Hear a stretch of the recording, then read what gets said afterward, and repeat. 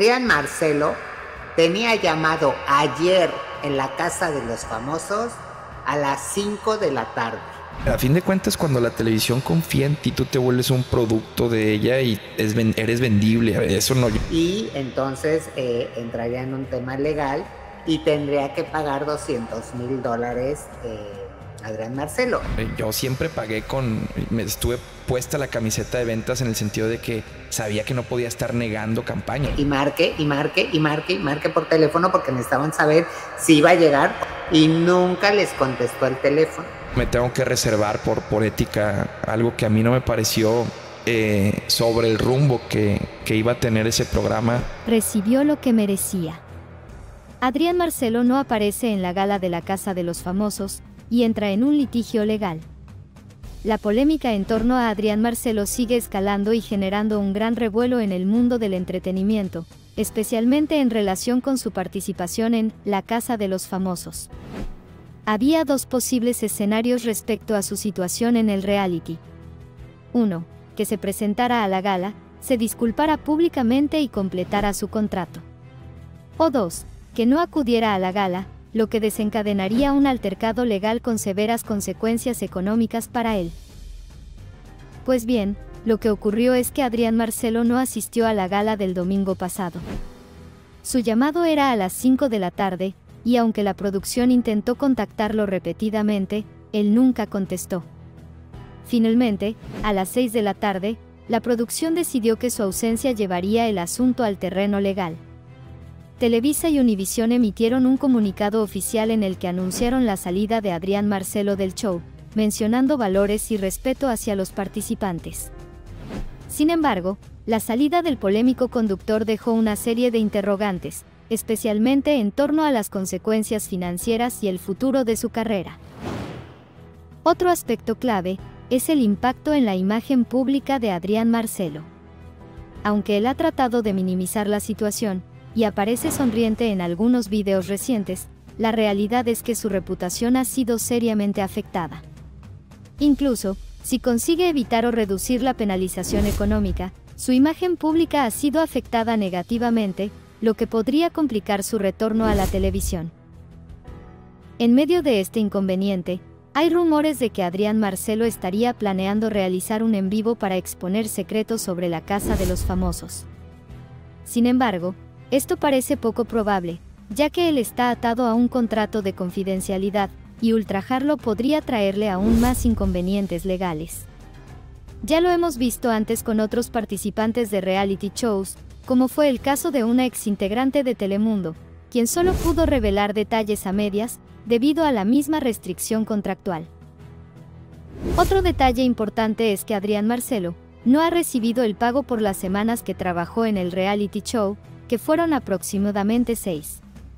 Televisa y Univisión habrían retenido estos pagos como garantía, para cubrir parte de la penalización que debe pagar. Este dinero retenido podría ser crucial para cubrir las obligaciones financieras derivadas de su incumplimiento contractual. Respecto a la situación legal actual, los abogados de Adrián Marcelo están en plena negociación con Endemol y Televisa.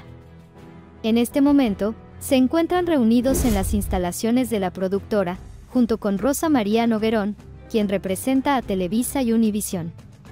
Lo que se está buscando es llegar a un acuerdo que minimice las pérdidas para todas las partes involucradas, ya que ir a juicio sería un proceso largo, costoso y lleno de incertidumbres.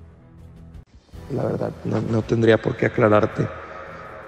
No quiero adelantarme, pero pues la neta sí me interesa salir contigo muchísimo. Sale una fuerte denuncia de a, por parte de una exnovia de Adrián Marcelo. Estás agüita, sé que estás pensando en otras cosas y tal vez en eso no, pero sí me gustaría transmitirte seguridad. Ya te había dicho, pues que mi trabajo es medio peculiar y justo. Fui víctima de acoso y en más de una ocasión. Mis agresores son Adrián Marcelo en el año 2022. Cuando me me ilusiona mucho salir contigo y, seguir saliendo y conociéndote. Porque Adrián Marcelo no es la primera vez que se ve envuelto en un tema de mm, pues violencia hacia la mujer, amigos, así como es.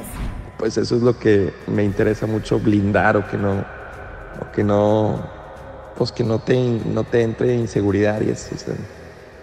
no sé, solo lo tengo en la mente, pero en la noche lo platicamos.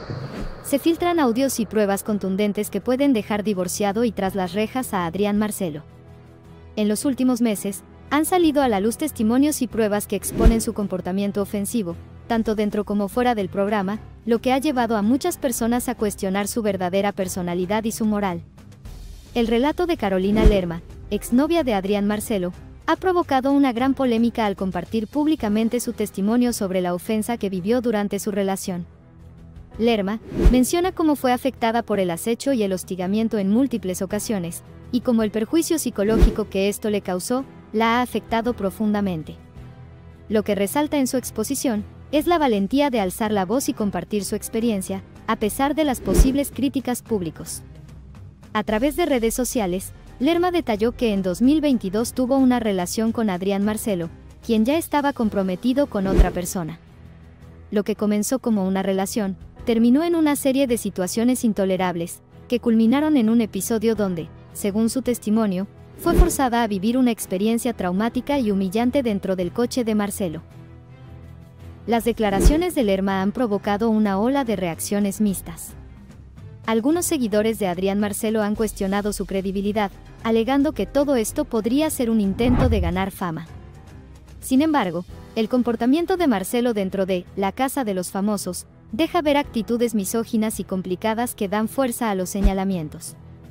En el programa, Marcelo se mostró como una persona que utiliza el agravio psicológico para manipular a sus compañeros y compañeras, lo que no solo refuerza las quejas en su contra, sino que pone en evidencia la forma en que este tipo de tratos repulsivos pueden pasar desapercibidos o ser minimizados. Uno de los momentos más impactantes en el testimonio de Lerma fue cuando decidió compartir audios donde se escucha a Adrián Marcelo insistiendo en salir con ella y minimizando su relación actual. Aunque en los audios no se percibe un agravio explícito, lo que sí queda claro es el tono manipulador y el comportamiento que podría fácilmente ser interpretado como acecho. Estos audios fueron compartidos como prueba de que la relación entre ellos existió, y que el hostigamiento emocional fue real. Marcelo, quien está casado, queda expuesto como una persona que no solo traicionó a su pareja, sino que también ejerció poder sobre Lerma de una manera totalmente inapropiada. Este tipo de comportamientos no son novedad en la carrera de Adrián Marcelo. En La Casa de los Famosos, dejó entrever su carácter autoritario y controlador, con comentarios machistas que han sido criticados por múltiples organizaciones. Su comportamiento hacia sus compañeras dentro de la casa fue, en más de una ocasión, totalmente inapropiado, lo que refuerza la narrativa de que este tipo de asedio psicológico es parte de su personalidad.